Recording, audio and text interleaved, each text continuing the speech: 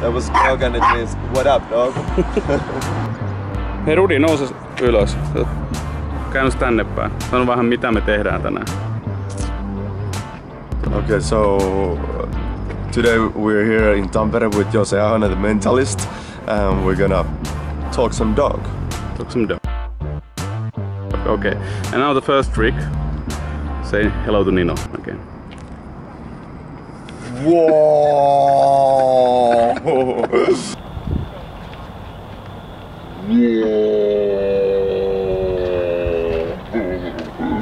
That was nice. That was so dope.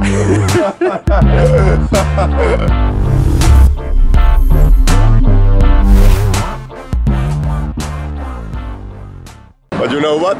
These guys are gonna get barked. Not punked, but barked.